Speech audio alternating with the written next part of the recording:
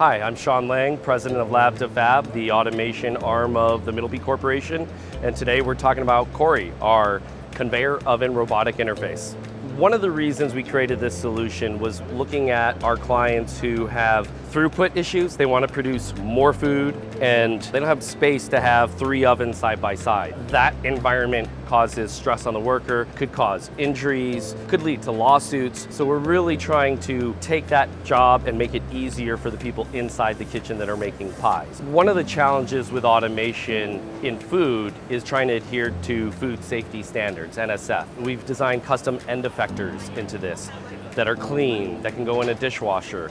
We've modified pans so that it works with a robot in a low cost way. So what we're trying to do is create an environment that makes it easier for the employees that are there to do their job.